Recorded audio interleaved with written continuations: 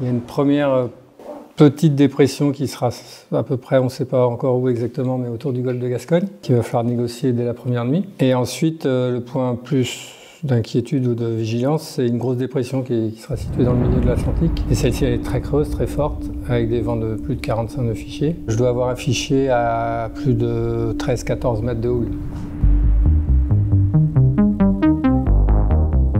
Donc la cellule météo est composée de 4 personnes, Olivier Douillard, Jean-François Cuzon, Nicolas Luven et Thomas Roussel. On sera installé ici, dans les bureaux de Gitana. On dort là, on mange là, on vit là, en fait, 24 heures sur 24 pendant toute la durée de la course. Une veille quasi permanente sur la météo. Ça peut être euh, le passage d'un front, surveiller exactement quand est-ce que le front va passer, euh, juste un grain qui se forme dans la lisée. C'est une veille quasi permanente.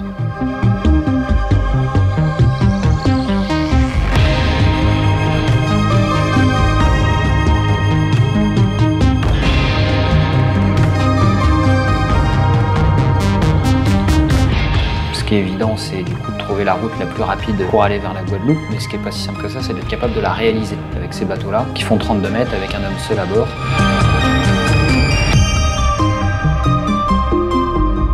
Globalement, la route idéale est fait aller dans des conditions de vent et de vagues qui sont euh, pas praticables. Il va falloir euh, placer le curseur entre euh, ce qu'on est prêt à perdre pour des raisons de sécurité.